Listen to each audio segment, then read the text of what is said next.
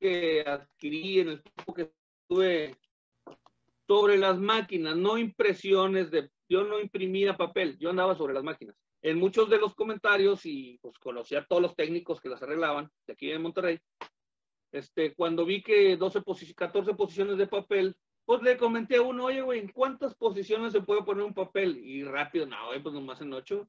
Entonces, las, los ocho eran mi lógica, ¿verdad? Cuatro por un lado, cuatro por el otro, girándolo siempre a favor de las manecillas del reloj. Si tú lo volteas, la parte de atrás giraría al revés, ¿verdad? Pero, o sea, ahí lo aclaré yo. Entonces, para mí, las marcas de agua de la 279, siempre las la de las 300 y 350, las empiezo en la manera que se puede leer naturalmente.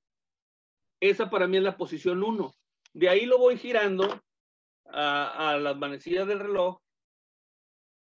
Y ahí es la posición 2, la 3 y la 4. ¿sí? Entonces, si esta es la 1 para mí, yo lo giro y esta es la 5. Y luego 6, no, para acá, otra vez. 6, 7, 8.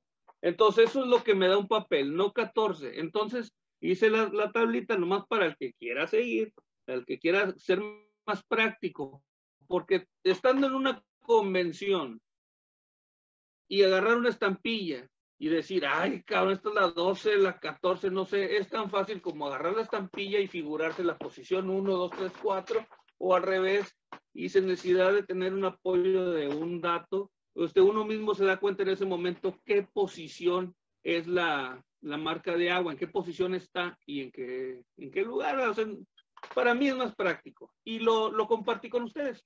Entonces, ahí está, con la 279 que tiene ocho posiciones, la 300 solo tiene cuatro y la 350 solo tiene dos.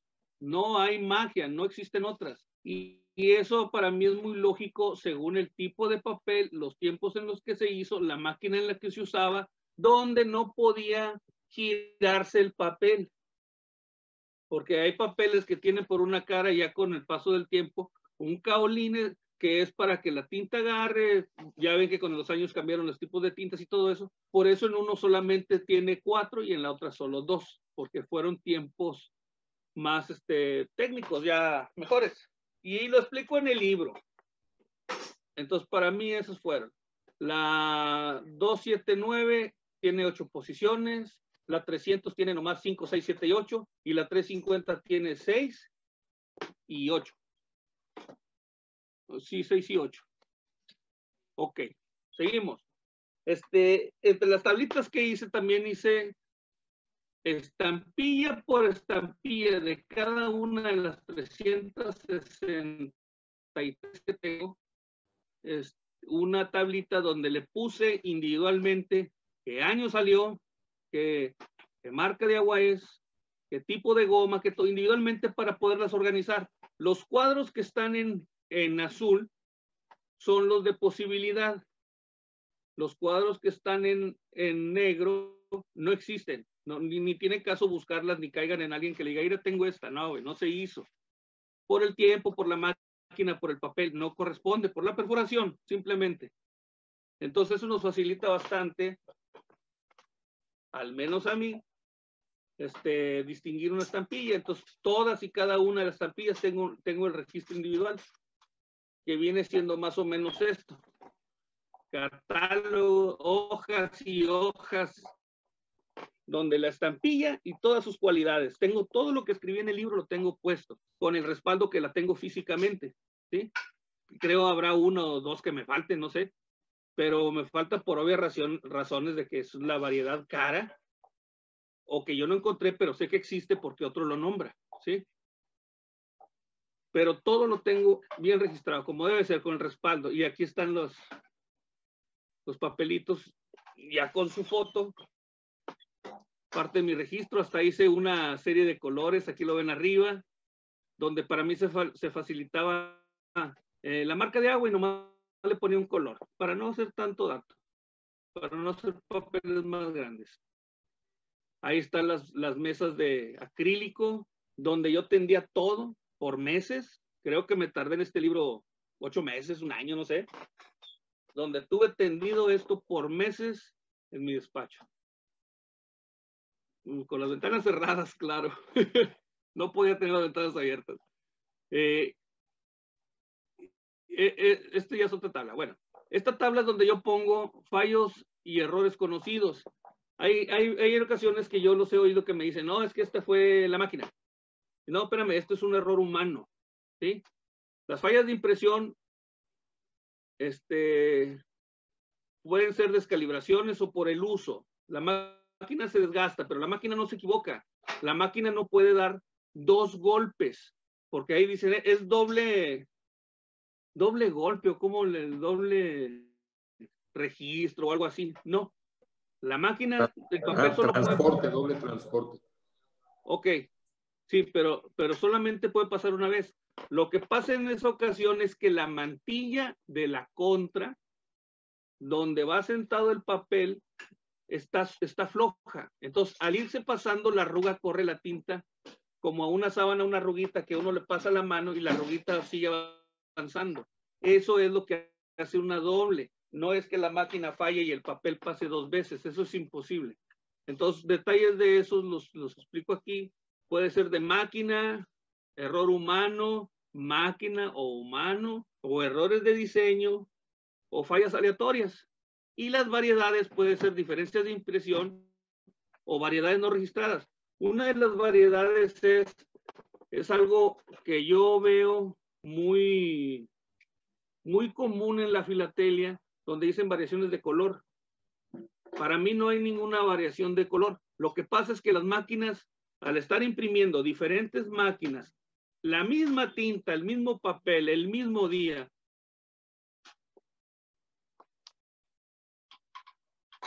pueden hacer diferentes registros porque van a diferentes velocidades. A mayor velocidad de giro de las máquinas es menos tiempo de transferencia de tinta.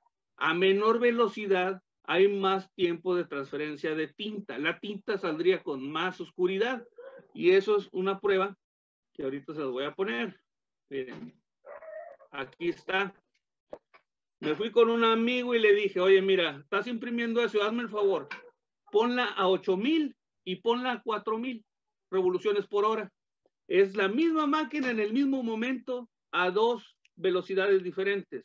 Pueden ver una que es más clara que otra porque la que es más oscura pasó más lenta, hubo más tiempo de transferencia de tinta. La que es más clara es, es este, más rápida, menos tiempo de transferencia. Entonces, hay libros que yo vi que dicen rojo tal y rojo menos tal y, hacen como cinco clasificaciones. No, fue la misma, mismo papel, misma máquina, misma tinta, mismo todo, pero como eran cinco máquinas diferentes, tal vez unas iban más rápido que otras, pero para mí sigue siendo la misma estampilla, no son dos estampillas diferentes. ¿sí? Esto es lo que mi cabeza equivocada tal vez me decía. Se los comparto en el libro.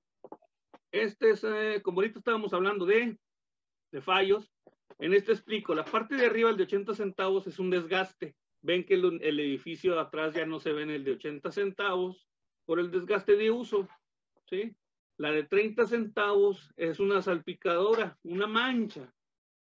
Cuando termina uno de trabajar y se va y al día siguiente vuelve, los rodillos se limpian. Entonces en algún momento se dejó un pedacito donde la tinta secó y al día siguiente estuvo recogiendo tinta, tinta, tinta y estuvo transfiriendo. Por eso la mancha está en el mismo lugar siempre, porque fue una gota seca del, del día anterior, una mancha seca del día anterior. Si yo ahorita salpico la, la máquina y está trabajando, como la tinta está fresca, a las 10 impresiones pues ya se chupó y ya no sale, ¿va? Pero esa ya fue una tinta seca. Entonces, siempre va a dar la manchita, manchita, manchita de una mala limpieza de un rodillo de una placa, de una lámina, lo que haya sido.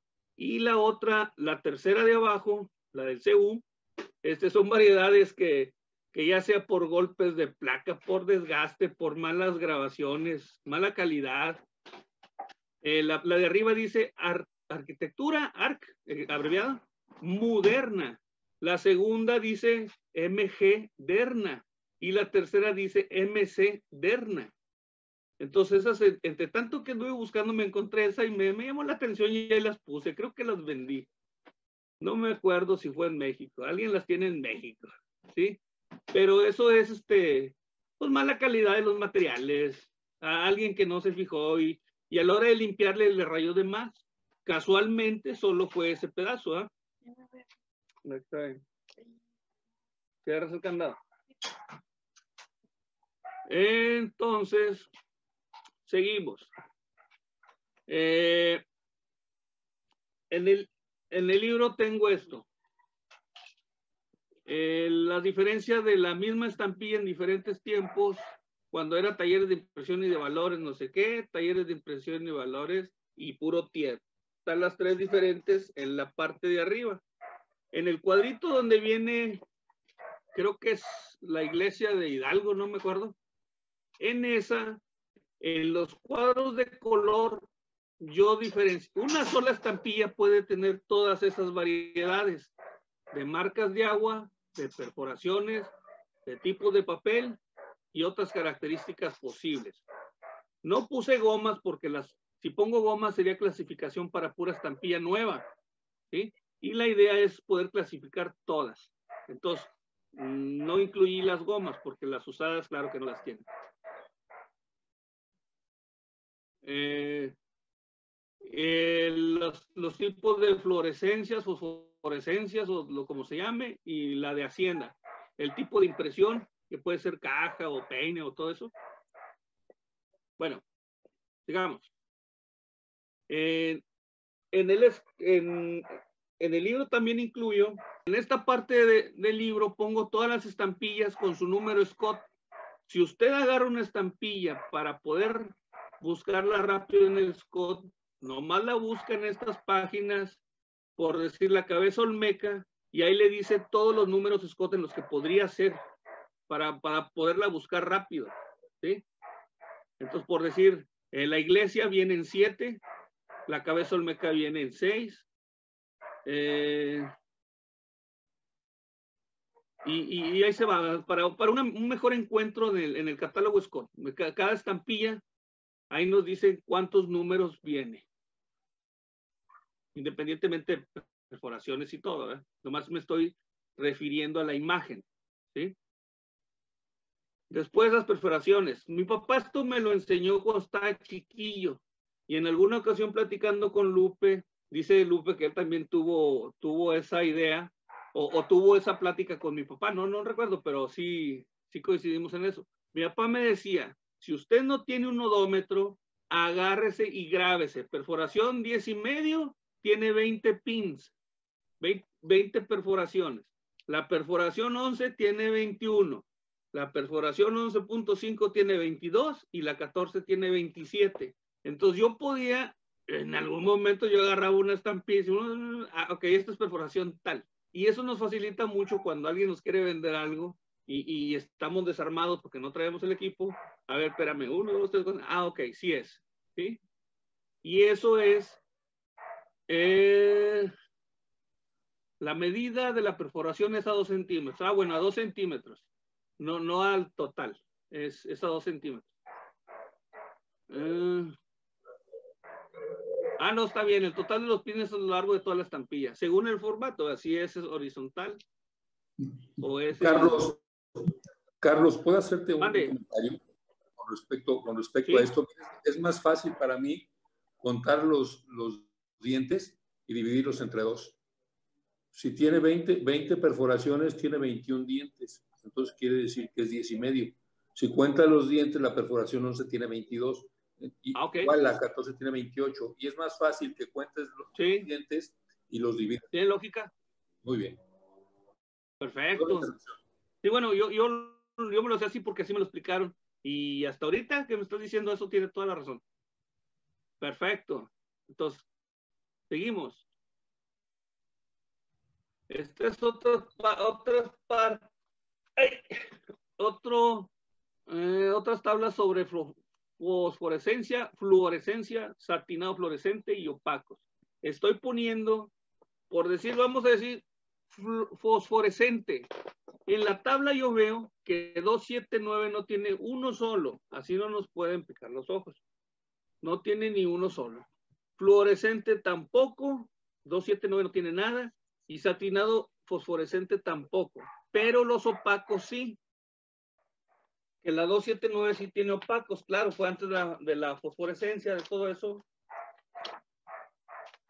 En la primera máquina, y tenemos en grabado y hueco grabado. Por eso tiene dos, dos separa, una separación, ¿verdad? Los de arriba son grabados, los de abajo son hueco grabados y los grabados en, en ordinarios en 14 es un peso 5, 10 y 20. Y los, y los hueco grabados en ordinario en 14, que es el de abajo, son 3 centavos, 5, 10, 15, 20, 30, 40, 50. O sea, aquí le doy el dato de todas las estampillas, cuáles son de esta serie, hueco grabadas o no hueco grabadas, o si son de, de, qué, mar, de qué marca de agua existen o no. Por decir, vamos a decir, los opacos en la 350 no existen en grabados, solamente hueco grabados. ¿sí?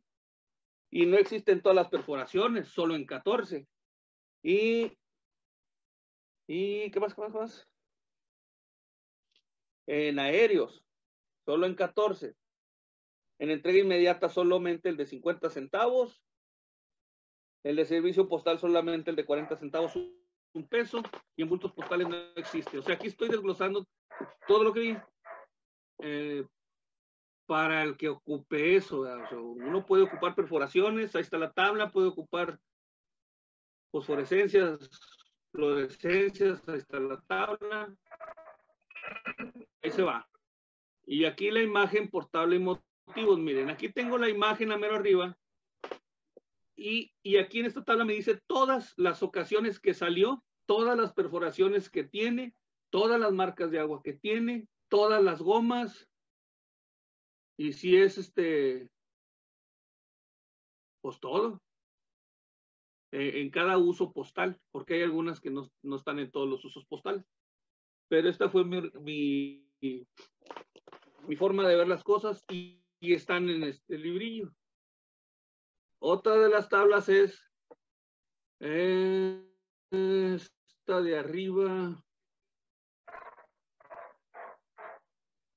Las características de papel, por si la de amarillo, me dice en la 279, e, en, los, en las 12, vamos a decirle series que tengo clasificadas yo, la 279, la primera tiene 35 estampillas. En la 300, hay en la segunda, en la quinta, en la octava y en la décima. En la segunda hay 70. En la quinta hay 23 diferentes. En la octava hay 28 y en la décima hay 39. No hay más en otra. En la 350 no existen en la primera ni en la segunda serie. En la tercera hay 16. En la sexta hay 14. En la 9 hay 3. Y en la 11 hay 1. Y abajo está la suma de todo que nos da este, 263 estampillas, que es de las que les digo que les hablo. La tabla de arriba creo que es de gomas, a ver. Tabla de condiciones. Ah, esta es por años, o sea, ¿en qué año salieron y qué tipo fue ese año? Si fue en hueco grabado, en grabado, o en el otro, ah, proveedores, características de fluorescencia y fluorescencia, posiciones, máquinas, Gobel, Wifa, White, y tipos de goma, arábiga, dextrina o PBA. O sea, hay, hay todas, las clasifiqué, yo creo que no tenía nada que hacer. estaba muy emocionado, pero todos, no, no hay una que se me haya escapado. Estos tipos de papel los agarré así nomás, dije, mira, estos son los más, los más este, sobresalientes de unos claritos hasta un cafecito y unos que se transparentan y otros no. Eh, lo puse ahí nomás de, de, para tener una idea. Este fue, ah, bueno, aquí ya, ya porque les explicaba algo sobre las diferentes placas, o sea, es la misma estampilla, la placa se acabó, se hizo otra placa y, y ya la, segunda placa ya no, ya no quedaba en igual condiciones que la otra. En la orilla, en la parte amarilla, tendrá unos, pues un milímetro más donde se ve una ventana más, a diferencia de la otra, del lado derecho, empieza el vitral este, en una ventana en vez de, de una ventanita chica. Después en este de arquitectura, les explico a mi ver, porque dice que las, las, las estampillas ustedes, en lo que leí, me encontré como tres clasificaciones diferentes. Entonces yo me puse a verlas bien a bien y a preguntar a la racilla y me, me sacamos en conclusión, pues yo me incluyo porque estaba con ellos batiendo, que la primera es la barda completa, la segunda es la barda rayada, la tercera es la barda ya despintada y la última que hizo es la barda blanca, porque fue, eh, fue conforme fue avanzando el desgaste de la placa, los retoques que se le hicieron y, y pues lo que ya no, no, o sea, ¿cómo le diré? Posiblemente no es que hayan sido placas diferentes, sino fue la misma placa que, que se usó en muchísimo tiempo y el avance fue, el desgaste fue avanzando, ¿verdad?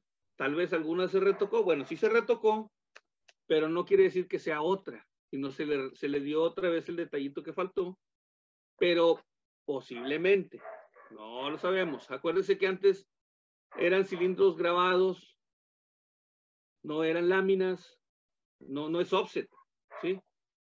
Entonces podía hacerse. Si hubiera sido offset, se hace otra placa del original y queda como nueva. Todas las placas van a ser iguales, todas las láminas. Estos no, se retocaban posiblemente los cilindros directos. Esto es lo que les decía de papelería postal, que también hice una lista. Servicio ordinario, servicio aéreo. Y esto fue todo lo que me encontré en papelería postal. Eh, sobres con estampilla impresa, de qué años y de qué valores, tarjetas postales, qué año y qué valores. Eh, eh, todo lo que me encontré, creo 44 piezas, ahí está, de papelería postal, que vendría siendo esta, que la raza me convenció de incluirlo por, por ser parte también de, de la serie de arquitectura y arqueología, pues están las estampillas grabadas. Y esta es la última parte, lo que les decía de, del, del libro que hice, incluí todas las imágenes para que el coleccionista principiante pusiera la básica, solamente tomando en cuenta imagen y perforación. ¿Sí? No, no, no marcas de agua, por ahí se metería. Se supone que, que lo hago para un principiante, para que sea entendible por cualquier persona, tenga conocimiento o no de la filatelia. Si hubiera puesto la, las marcas de agua, posiciones de papel, pues me hubiera dado 100, 120 estampillas más, que no tiene caso, que un principiante no, no tendría la facilidad que uno tiene que anda en esto. ¿sí? Esto pues ya fue parte de la conferencia de aquel año. Y fin, bueno, no hemos acabado. Esto solamente es el, el PowerPoint. Muchas de las cosas ya se las dije ahorita, pero voy a tratar de identificarlas para no repetirlas. Por decir aquí, hay que aclarar que este escrito no está descubriendo nada nuevo ni desacreditando los trabajos anteriores. Se está explicando de una manera más completa, diferente a todo escrito previo. La información que, siempre, que siempre ha estado ahí, solo se está siendo ordenada de diferente manera, práctica y técnica. Esta es una presentación técnica. Las tablitas son tablas técnicas, no, no es este, ideas mías. Esto de los presidentes ya se los dije. También el índice. El objetivo de esta guía es orientar a los filatelistas a reconocer con facilidad las estampillas de la serie permanente Arquitectura y Arqueología 1950-76. Principalmente va dirigida a los filatelistas principiantes y a los no expertos. A diferencia de los estudios emitidos con anterioridad, en este se, recomiendan los datos en varios formatos, diferentes motivos, estampillas o números Scott y por papeles, juntos o de manera independiente. Ok. Es muy importante decirles que esta es una recopilación de, de datos. No es algo que yo estoy inventando tampoco, es una recopilación. Yo me apoyé en todos los datos anteriores, ordenándolos de diferente manera y apoyándome en lo que yo conseguí físicamente, que sé que existe. ¿sí? No, no, tratando de, de, lo que a mí me dijo y a qué me dijo eso, solamente las que eran muy repetitivas las incluí.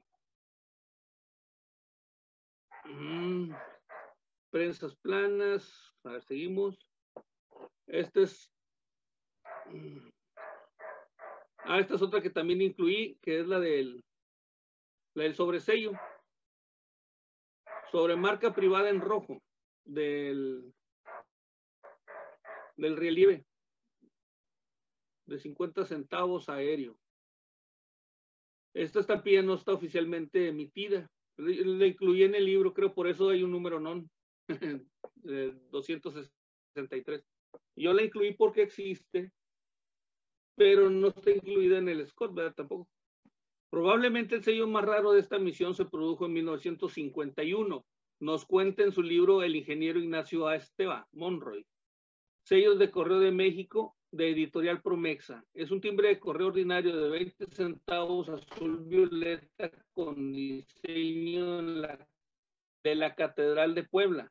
Perforación 14 en hueco grabado. Goma arábica brillante con un tono amarillento tenue. Fue impreso en papel delgado de manufactura suiza y sin marca de agua. Los talleres de impresión TIEP conservan en el archivo 100 ejemplares con algunas de las letras de la palabra muestras perforadas con los datos de que indican el número de orden de trabajo 18002 81 folio 2782 con fecha de terminación de impresión en agosto 20 del 51. Esta es la más rara porque no salió a circulación, como lo dice y es una prueba de cuando iniciaron en el 51. Y, y en junio del 60 el Servicio Postal Mexicano emitió una serie conmemorativa de dos estampillas rindiendo homenaje a los coleccionistas de estampillas postales de México, que es la de la que enseñamos ahorita. Ay, no les llega, está muy chiquita la letra. Bueno, esas son las más raras. Las de homenaje al coleccionista y la que dice el ingeniero Ignacio Esteban. Mm, los materiales de apoyo ya se los leí hace rato, todos los libros que me chuté.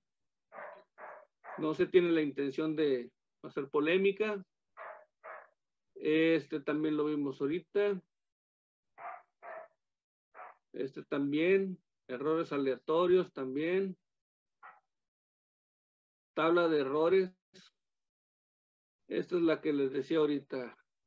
Este de la iglesia una estampilla puede tener cualquiera de estas características. En marcas de agua, 279, 300, 350 y sin marca de agua. Ah, y la marca de agua fiscal. En otras características puede ser el tipo de goma, impresión, el tipo de impresión o el formato si era coil, rollo o, o perforación normal. En perforaciones puede ser 10.5, 11.5, 11 y 14. En tipos de papel puede ser opaco, fluorescente, fosforescente y papel fosforescente satinado. Hay otras características también puede ser placa chico grande, variedades en el color, como les decía, según el tiempo de transferencia de tinta, la velocidad de la máquina, año de emisión o variedad en el grabado. Ok, porque cuando es la misma estampilla, pero ya se hace otro grabado, pues ya varió alguna cosa. Eso es todo lo que puede rodear una estampilla. Pero no todas lo tienen, tampoco. ¿sí? aquí es lo que les decía, que en algún momento se puso taller de impresión de estampillas y valores. De estampillas y valores México. Y el otro después fue talleres de impresión de EST y valores México. Y la reciente, la que conocemos, es TIEP. Esta es la organización alfabética, también ya se las expliqué ahorita. Aéreo, según el uso postal.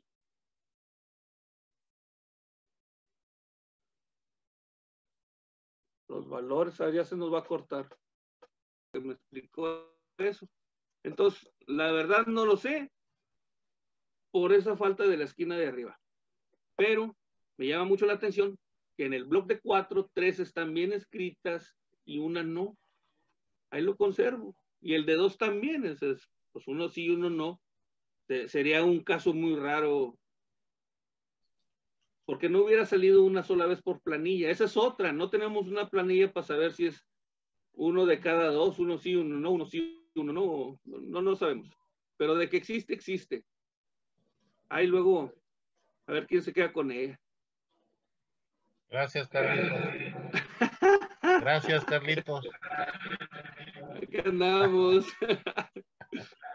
Miren, esto es lo que les decía. El, doble, cuando dicen que es doble impresión, o por decir aquí en México, es, uno está grueso y el otro no, es lo que les digo, eso, es, eso lo causa la, la mantilla que le dicen. El, la, el cilindro contra, donde va el, el que va, donde va el papel recargado y el otro es el que imprime, hay, hay uno contra, que es el que lleva la mantilla. Si la mantilla no está bien restirada, a la hora que va girando va haciendo una pequeña olita y esa olita hace que la tinta se corra mínimamente, pero esa tinta hace que la letra salga gruesa. Si la mantilla está bien tensa, no tiene por qué pasar eso, siempre y cuando fuera en rodillo. Si fuera prensa, acuérdense que las prensas son de golpe, esas no, no tienen mantilla. ¿sí? vamos a buscarle qué máquina fue la que lo hizo, pero eso es causa de una mantilla suelta, de una mantilla mal apretada.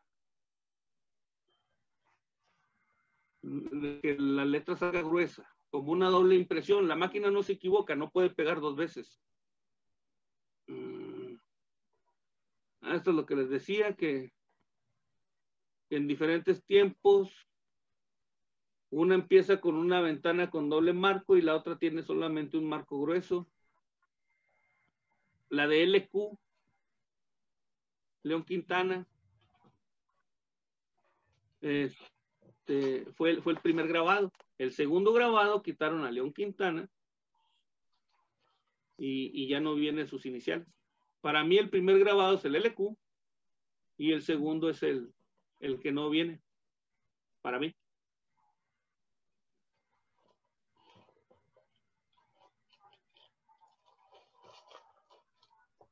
Seguimos, seguimos. Ah, bueno. Y a causa de que la estampilla como les expliqué ahorita, que más variedades tiene es la de CU, que tiene 20 estampillas diferentes, ya sea por posición de, de marca de agua, tipo de papel y todo. Por eso es que la dejé de fondo de agua, de marca de agua, en el libro, porque es la estampilla que más tiene y pues es la que se ganó el lugar. Por decir, este, en exporta es mezclilla. Mezclilla es la que más variedades tiene y nadie lo ha notado, nadie lo ha tomado en cuenta pero se lleva por mucho a todas. Mezclilla, no me acuerdo cuántas tiene, pero ahí lo busco al rato. Tiene todas. Mm, papelería postal, también ya lo, lo vimos en el otro lado. Estas no las completé todas, pero, pero las vi en colecciones de otros. Por eso hice la tablita esta. Weber me ayudó mucho también. Weber y, y Lupe, ya saben cómo es Lupe. Y ahí está todas y cada una de las 44 piezas que alcancé yo a, a tener el dato. Verlas o todo. Y ya de aquí en adelante, pues ya lo que les explicaba es, es el álbum con posición individual para cada estampilla, para un principiante. En todas sus variedades, todas, hasta el coil metimos. Hasta la de homenaje al coleccionista, en sus dos versiones, y todo lo demás. Y de aquí, y dejé al último uno, unos este, espacios, varias hojas, aquí nomás dejé una, para si alguien se va encontrando, las, va, las incluyendo, para que tengan un espacio de hojas extras. Y aquí van poniendo y registran sus datos, cada quien lo que encontró. Claro, para un principiante. Para que sea algo más, más completo el índice o glosario al último, el índice analítico, todas las palabras filatélicas que conocemos nosotros y cualquier otra persona va a creer que es ruso, chino, no sé. Eh, entonces está el glosario. Y finalmente terminamos. Expreso mi sincero agradecimiento a quien desinteresadamente, quienes desinteresadamente me ayudaron directa e indirectamente a crear este libro. Javier Rodríguez, Guadalupe Morales Grifaldo, Grupo 5076 México Permanente, Jorge Arturo García C, Ernesto Weber y Club Filatélico Lotomex. Aunque no lo crean, me metí a Lotomex a que me ayudaran y me ayudaron muy bien. En alguna ocasión estuvimos encerrados horas, opinando, revisando, y en Lotomex está la obra prima, el, primero que llevé como machote, antes de terminarlo, se quedaron con él. Fue un regalo. Esta obra se terminó de imprimir en el 16. Carlos Álvarez, su servidor, muchas gracias. Hasta aquí llegué. Preguntas, respuestas. Jorge, viene de ahí. Carlitos, muy bien, muy bien, caray. ¿eh? Como siempre, siempre te has caracterizado por ser un estudioso. Material, material es el bueno, me dejaron mucho. Sí, me acuerdo. ¿eh? Qué bueno, qué bueno, Carlos, que, has presentado tu libro y, y, además que lo hayas aclarado, porque nunca, bueno, yo antes no había tenido oportunidad de verlo en el sentido, pues, aclaratorio, como lo acabas de hacer ahora, ¿no? Yo tengo tus libros, tú lo sabes. Y, qué bueno que, nos diste un, pues, un brevario, muy cultural, por cierto. La leyenda urbana de que en talleres habían deshecho el cilindro de papel y lo habían vuelto a enrollar al revés, una tontera. tampoco puede ser. No, tampoco. Desenrollarlo y enrollarlo. No se oye, Lupe. Pues, pero aunque se, aunque se hiciera, aunque se hiciera así, este, pues no se imprimiría del lado de la goma. ¿Me explico? si, si, el papel, si el papel, si el papel viniera normal y lo pone del otro lado y se imprime del otro lado, pues la goma queda de un lado y la fosforescencia del otro, mi querido Don Lupe. Eso, es, eso no puede ser. digo, pero, pero eso fue la primera leyenda que sacaron. Así es. Es que, no, no, es, no, es, tan difícil esta, esta, la teoría es, es muy sencilla. TIER recibe muchas bobinas pequeñas de muestra, de papel muestra, y ahí es donde se hacen todos este tipo de, de impresiones.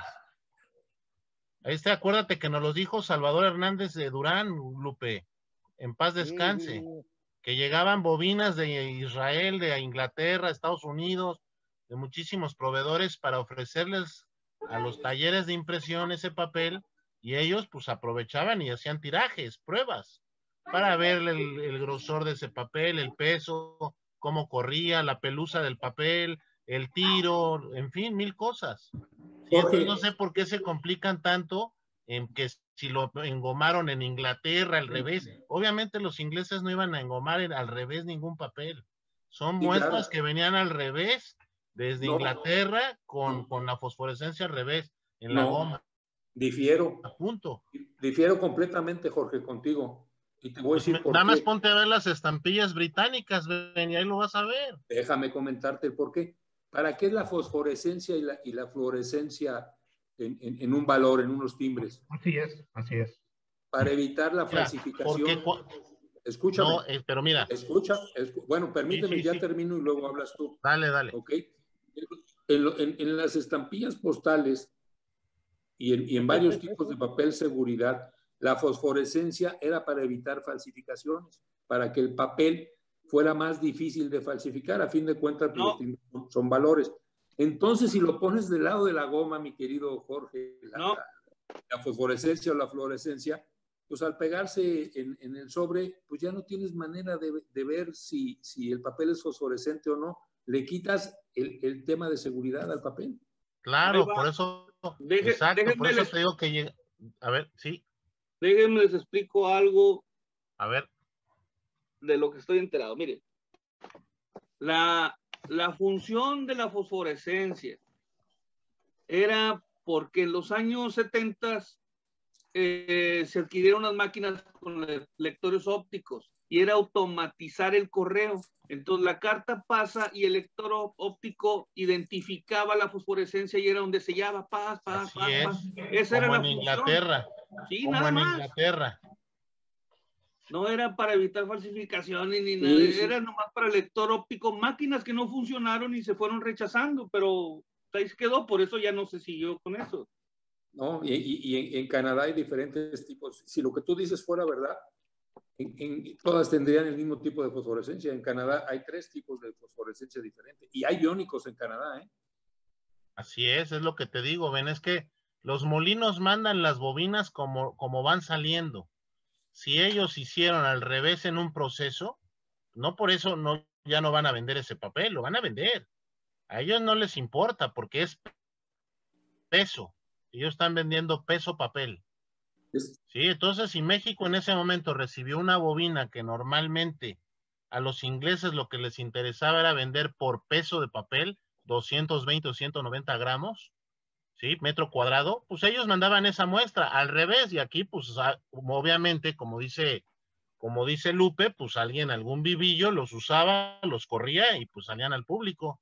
Porque de un regalo pues, se hacía dinero, pues bienvenido sea el señor. Bueno, en este caso yo les preguntaría, eh, vamos, vamos suponiendo, vamos eh, hipotéticamente tratando de plantear de que efectivamente haya sido una bobina muestra. Si es bobina muestra, preguntaría, ¿obligaría al almacén, al, ente fiscalizador y a los mismos eh, de TIEP haber mantenido una muestra de papel de ese tipo? Eso sí nadie lo sabe, Juan. Por eso, por eso mismo siempre es importante que la información que aún está por descubrirse o vulgarse o analizarse, tratemos de convencer a las autoridades que nos permitan buscar a lo que nosotros ya tenemos por lo menos una sospecha. Porque, porque definitivamente, si llega a estar ahí en alguno de los eh, este, anaqueles o de la bodega este, almacenada esa información, es muy valiosa. Eh, el hecho de que, eh, como se da el caso, en ocasiones encontramos eh, errores precisamente de impresión porque escapan al escrutinio del, del, revisor del inspector y que llegan a las manos de los, vendedores de las estampillas dentro del correo, para nosotros pues simplemente es un hallazgo y, y nos, da, nos da mucha alegría tenerlo, pero definitivamente algo que, que no es visual, como es el caso de esta, este, este par de, valores de México Exporta, pues sí, definitivamente tiene, tiene mucho que estudiársele todavía. ¿Cuántas biónicas se conocen? Es que es muy sencillo sacarlo por estadística. ¿Cuántas biónicas se conocen y cuántas de la primera emisión has visto? Millones de un peso sesenta se han visto. Sí. Y de la biónica se han visto con los dedos. Por estadística tiene que ser un papel que fue usado como una muestra o fue un regalo de algún, algún molino O sea, o a lo mejor lo compraron en una partida de papel muy, muy pequeña, ve tú a saber, pero la eh, realidad es, lo que iba yo precisamente a rematar al final de la tercera este, pregunta para Carlos. Si tenemos eh, la de 35 centavos en los diferentes eh, retoques o desgaste de la placa, si estamos en un mundo de que tenemos un, sabemos ya más o menos cuántos miles o millones de, estampillas fueron en ese valor, eh, de, esa, de ese tiraje. Y tenemos otro gran factor, el número de piezas sobrevivientes canceladas, que nos permiten más o menos ver por fechas, como lo han hecho otros estudiosos, en el decir, ah, caramba, tengo una incidencia numérica visible en las cancelaciones para cada una de esas estampillas. Si tenemos esa, esa estadística, nos va a decir, ah, caramba, la de la barda desvanecida, definitivamente todas están de tal, de tal fecha a tal, de tal año. Ajá, yo iba también a decir lo mismo. Sí, es, entonces eso ya definitivamente tiene una, una composición en tiempo y en estadística que nos permite definitivamente no, no postular ni, ni pretender decir que cuál es la primera, segunda y la tercera, no. Definitiva, en tiempo salieron estas primero y estas. Carlitos, yo en ese sentido, mira. adelante, adelante, comenta. Aquí puse en el, en el libro, en el año de 1900, el dólar tuvo un gran salto quedando el cambio en 22.81 centavos. 22.81 pesos por dólar, provocando el aumento del servicio de correos de México desde finales del 75, duplicándose 80 centavos el ordinario y unos 60 el servicio aéreo. La causa de que todas las estampillas sean las más variadas y de mayor cantidad de esta serie. Posiblemente a causa de esa alza del dólar se toma la decisión de cambiar esta serie permanente para adecuarse a los nuevos portes y valores complementarios. Comenzando en el año 1975, la serie México Exporta, siendo los portes 80 centavos de ganado y carne y unos 60 de bicicletas, las, los portes oficiales de ordinario aéreo respectivamente, con más impresiones. Posiblemente por eso, al tener más, más, más, más, tuvieron que agarrar lo que decía Jorge, las muestras de uno, las muestras de otro, que tal vez no tenían el control de calidad o se envolvieron al revés. Seguro, seguro no lo tenían, no había controles, eso es seguro. Claro, este... y porque, porque fue gran cantidad, por eso hubo que poner, este, completar, completar, échale, échale, échale. Fueron los que más cantidad hubo. Así es, el peso 60 era el porte, o sea, aéreo. Sí, 80 centavos, que es ganado y, carne, con biónica. Y, la bicicleta biónica, que es unos 60 aéreo, pues es... Pero es que además, mira, la información de lo de la biónica Lupe no me va a dejar mentir. Nosotros conocimos a, la persona que estuvo responsable en esos años en TIEP y fue el que nos comentó de esos papeles que llegaban de muestras. ¿Sí? E, y entonces, pues digo, no, no, no podemos especular si una persona de dentro de TIEP nos comentó eso. Pues, no, no, no le veo por qué tenemos que irnos por otros caminos, ¿no? De que si lo engomaron, si lo pegaron, si, si alguien internamente nos decía, recibíamos remesas de papeles muestras y pues ahí se hicieron el, torito biónico y la vaca biónica y otros más. No hay vacas Oye, el torito. Oye, Jorge, pero eh, luego vamos al punto precisamente en el que con ese mundo finito de piezas eh, difíciles de localizar, vamos a, la estadística de las usadas. Y Así es. Y es cuando pues ahí, ahí está y no falla. Bueno, entonces, como si hubo alguna persona que tentativamente para hacer especular y vender en el mercado a una pieza que en aquel entonces, si mal no recuerdo, eran, pedían 100 dólares o más por cada pieza, entonces llegaron hasta un momento dado a pedir mil dólares. Sí. Hay, hay, hay en, en, Mérida, hay en La Paz, hay en la Ciudad de México, hay en este Monterrey, Nuevo León, o sea, Mérida, Mérida, Yucatán tengo sí, entonces Mérida y Cuernavaca. No me haría, no me haría lógico de que anduviera eh, dicha persona distribuyendo y viajando para ir a poner lo que está vendiendo en dólares para, ponerlo y pagar un porte de unos 60. No, no, claro, es que sí salió al mercado, por eso es lo bonito de esa pieza, porque sí sale, sí sale por los correos. Se conoce primero usada. La que encontró las planillas completas, porque dicen, se hablan que habían dos planillas, no, luego creo que Benjamín comentó cuatro. No, tres. Pascual, ¿Tres? Pascual tenía que se tres. localizaron. ¿Cuántas? Diez planillas que se localizaron y se localizaron en Querétaro. Eh, no, en Veracruz también se localizaron. no, no, yo, te estoy diciendo. No, pero yo, te estoy diciendo en Puebla. yo te estoy diciendo de las 10 planillas que encontraron en Querétaro. ¿sí? Una parte, Musó nunca compró nada, a Musó se la dieron a, consignación. Roberto Oliera deshizo una planilla en Amexil en esa época. Sí, me acuerdo. Bueno, ahora, eh, ese Ceres Cano fue el ganón.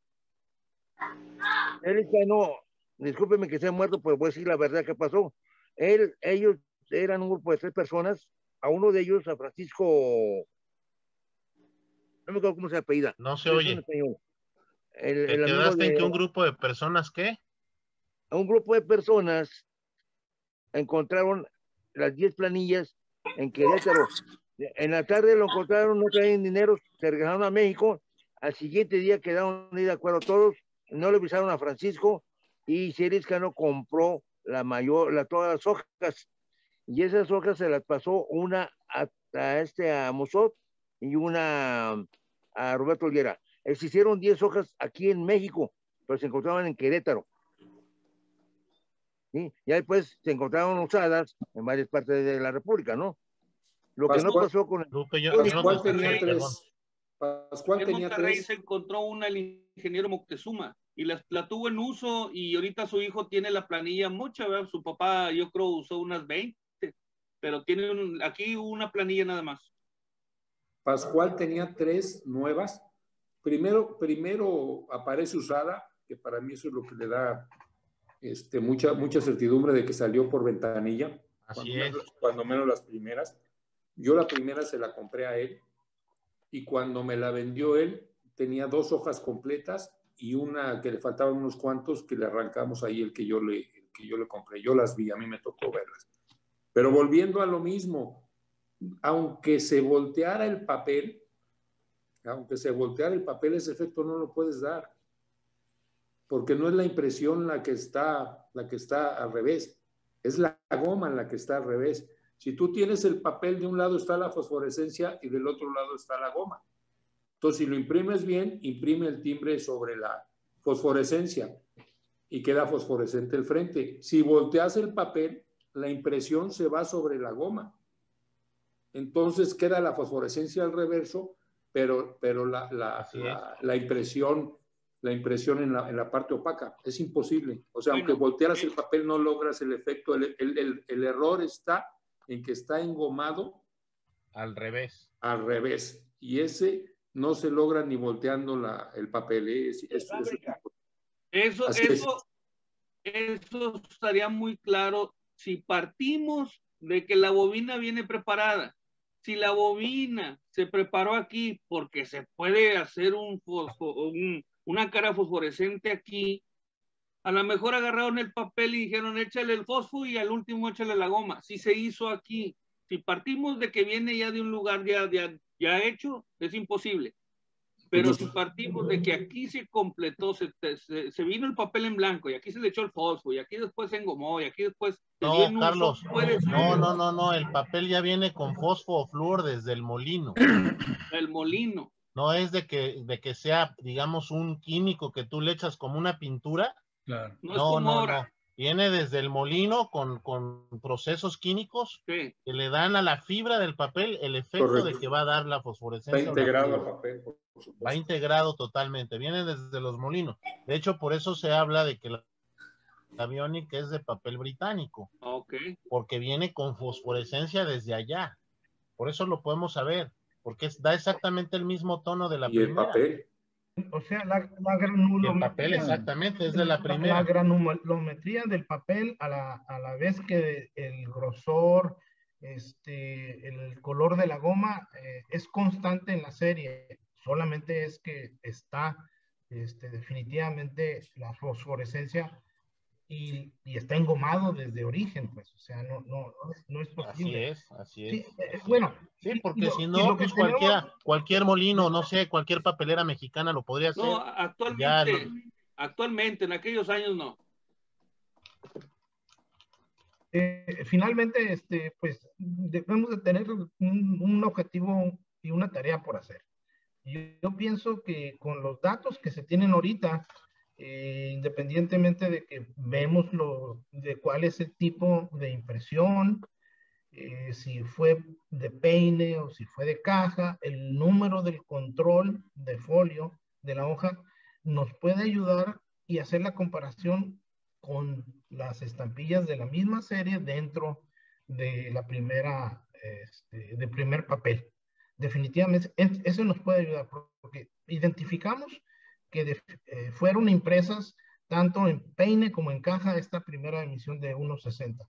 En caso contrario de lo que es concretamente la, la estampilla de, de, 80 centavos, que, que es de perforación eh, 11 y medio, si mal no recuerdo, mientras que las de perforación 14 ya fueron muy posteriores y no pertenecen al mismo tipo de papel.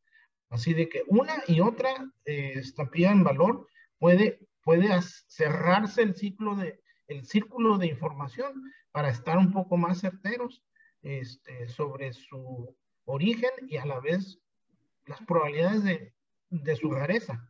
Definitivamente el tres pesos que hablan de zapatos, mm, no, sí lo oí alguna vez hace como más de 15, 20 años que pudiera haber existido, pero nunca lo he visto, no lo puedo asegurar.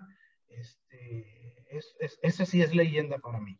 Sí, también a mí me han hablado mucho de él, pero yo como Santo Tomás, el señor Campo, hasta no ver, no que Y difícilmente, digo, pues usted y yo tenemos estudiando esta serie muchos años y los biónicos, este, muchos años y usted muchos, muchos más años. Yo, yo ya veo difícil que podamos encontrar más información a menos que nos permitieran meternos al, ahí a tierra a buscar los papeles, pero yo ya lo veo, lo veo mucho, muy complicado y pues, otra cosa que, que, valida lo que dice Jorge sobre la fosforescencia es que la goma, la goma está sobre la fosforescencia también. Sí, este, al final, mira, cómo es este tipo de reuniones y de pláticas muy productivas. El hecho de que Carlos nos está mencionando de que alguien tiene todavía una media hoja o, o fracción es, es muy importante no con el propósito de hacer comercio, sino que simplemente aportar la información para tener un poco mayor de conocimiento. El hecho de que ahorita estás también mencionando, Benjamín, de que sabes que este, en paz descanse este, nuestro buen amigo, este, lo mencionas. Pascual. Pascual, sí, Ortega. Eh, tenía tres hojas.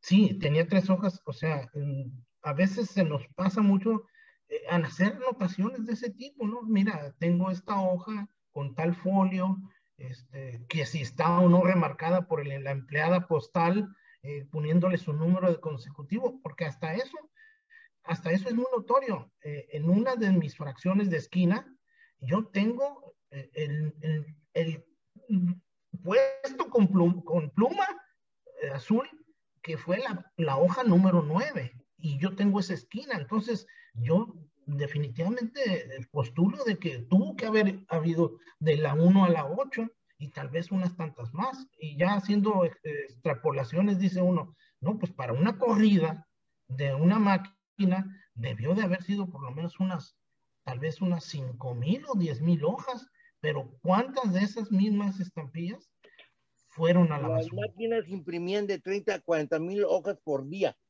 Sí, así es. Entonces, si yo estoy hablando de unas 500 eh, o 1000 hojas de esas, pues estamos hablando que la sobrevivencia de, eh, dichas estampillas, tanto la de 80 centavos como la de unos 60, eh, es, es, muy, muy, muy, este, muy escasa. Ahora, aquí les doy una primicia. De las cuatro que yo tengo usadas de la vaca biónica, este, tres son de la oficina, una es de la oficina principal de León y tres son de la sucursal B. Así de que es lo que puedo compartir el día de hoy. Más la pieza que tengo sin cancelar, pero sin goma. Yo también las dos que tengo sin cancelar, una tiene la goma parcial que, es, la, que, la que con la que le dije a Arturo este, de la Garza, porque en su, en su estudio dice que a la hora de lavar el timbre se va parte de la fosforescencia. Yo le dije que no, estaba completamente equivocado. No, no.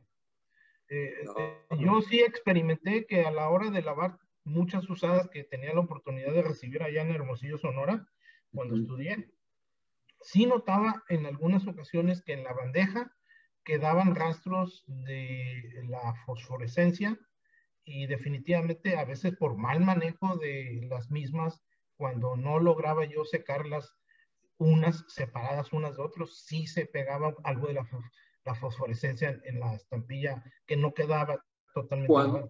Pero, pero definitivamente, como ha habido algunas personas que dicen, no, es que la puedes fabricar, no.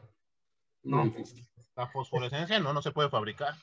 No, o sea, pero no la puedes este, concentrar, entre comillas, para aplicarla sobre una estampilla normal y Y luego la goma encima. No, o sea, no, es, es, materialmente, eh, tecnológicamente ni, ni, posible hasta este momento. Así de que... Yo le puedo hacer una estampilla. Yo me, he ido con la raza, llevo estampillas, checan el papel, checan todo, pueden hacerme las planillas que sean, no es tanto. O sea, eso se puede. Con las planillas sí, Carlos, pero la fosforescencia es lo que dicen. Sí, sí, pero igual se consigue un papel, hombre, se, pide. Me ofrezco, me ofrezco para ser inspector dictaminador. Y, yo, y, si las haces, yo te compro cuatro. No, no, no las voy a hacer, le estoy diciendo que se pueden hacer. Pues, eso se puede, eso de se puede, Los pines para perforar, todo, todo, o sea, no tiene, no es magia, como les digo, o sea, todo está en uso en el mercado. No, no pasa nada, nadie se dedica a eso, ya no está, el... No está de twin en estos días. ya no está de twin. No, todo podría, pero Carlitos, eso. Un, Aquí lo, punto que más este, y, que te quería comentar, eh, hablabas de los retoques en la de Tasco. Ah, sí. La, este, En la de 35. Sí. Mira, tú hablas en la, en, la, en la de retoque ligero, en la sin retoque, retoque ligero y profundo y cambias la secuencia, cambias la secuencia porque, porque tu análisis lo haces a partir de una, de una impresión. Sí, o sea, tú dices, como este tiene más, más tinta, este es lo más probable es que haya sido el primero. Más definición. Sí, pero yo aquí, aquí te quiero comentar lo siguiente, mira. En la, en, la, en la placa, o sea, la placa que no tiene retoque, si tú te das cuenta, el papel es más amarillo es de los primeros papeles que se usaron en la, en la 5075 y los últimos papeles que se usaron en la anterior. Entonces tiene la misma goma, si te das cuenta, tiene la misma goma, el sin retoque, que la serie anterior permanente de México, por un lado. ¿Sí? Y en el retoque profundo que yo, yo determinaría a reserva de, obviamente, de los expertos y con las medidas reservas, Sí, yo la, última, el retoque profundo, yo digo que es el último por dos razones fundamentales. Primero, porque las fechas con las que yo tengo un montón de cartas, tengo más de 250 cartas con esa estampilla, marca los últimos, los últimos, digamos, este, meses y, y años de uso de la de retoque profundo. Y dos, que el mismo dado maestro que se usó en esa también se está usando en la papelería postal con retoque profundo. Si tú analizas tu papelería postal, Carlos, vas a ver que el retoque profundo tiene exactamente las mismas características que la estampilla con retoque profundo. Las mismas líneas, las mismos, los mismos marcos, todos los mismos márgenes. Sí, sí, entiendo. Sí, entonces, ahí revisamos la fecha y vas a ver que las fechas del retoque profundo, del sin retoque y 51.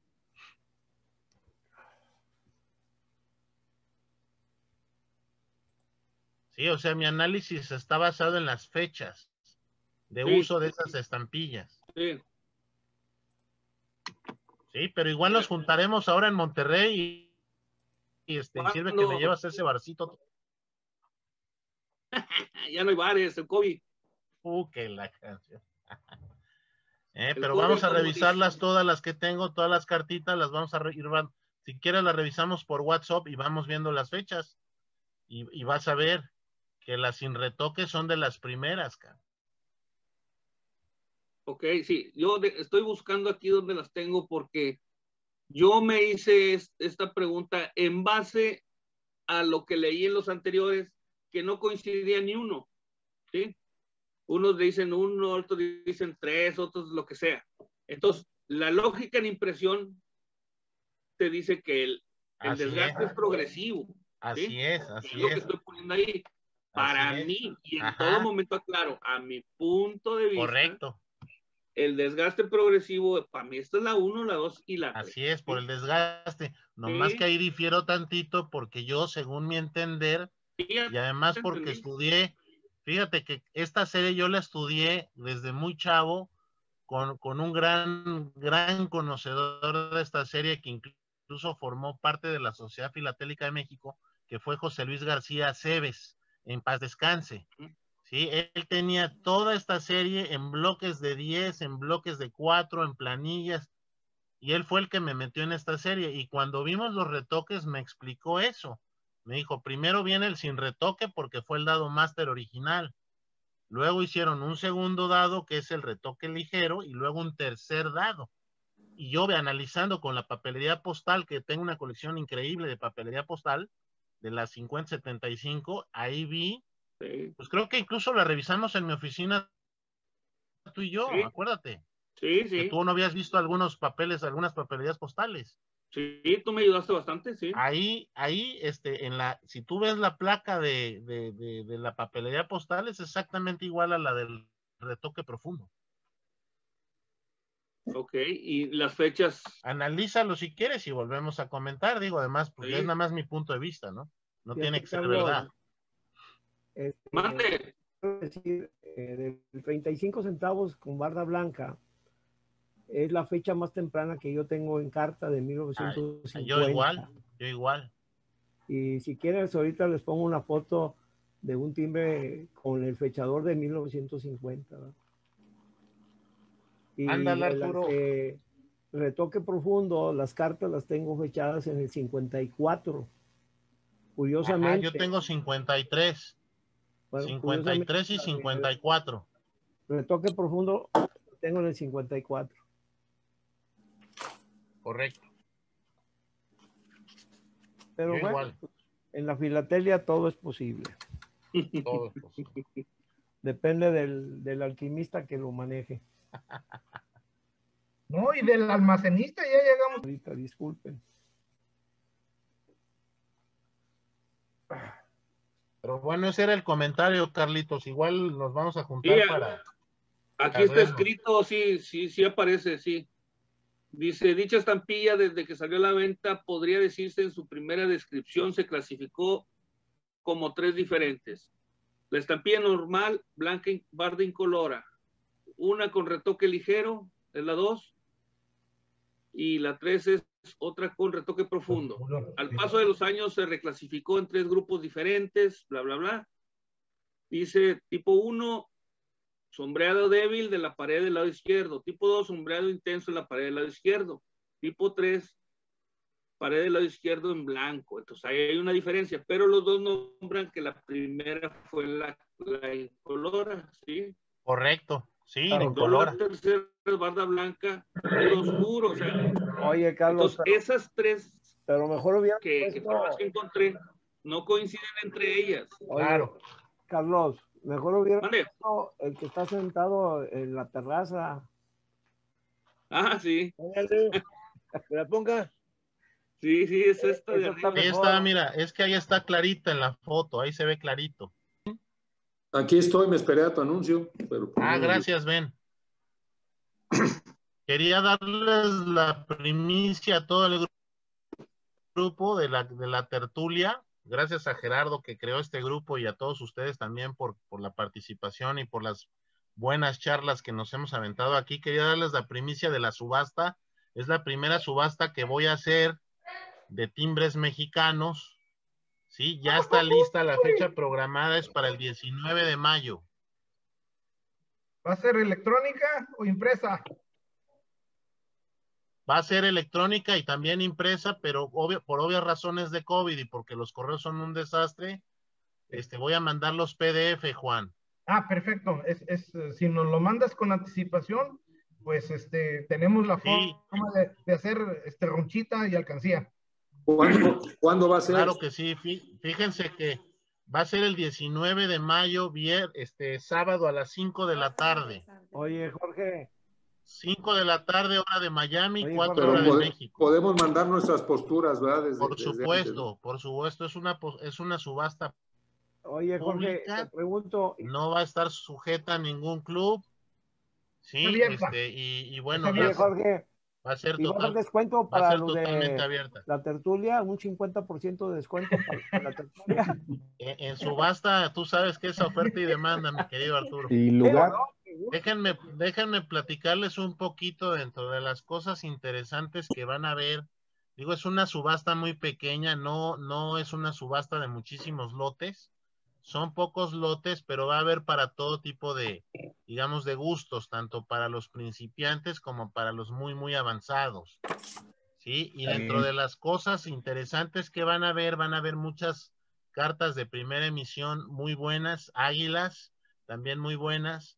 Eh, la parte que les gusta aquí en la tertulia va a estar espectacular, que es la parte México exporta con con la única carta conocida con el, con el torito biónico, sí, y este, ya, ya dentro de las, dentro de las, digamos, de las joyas van a estar esas, vienen también cosas interesantes en prefilatelia, en los medallones vienen dos, tres, que, dos, tres piececitas, la parte de la revolución está espectacular, con cartas provisionales, sí, este, y obviamente, pues quería darles la premisa aquí, ¿no?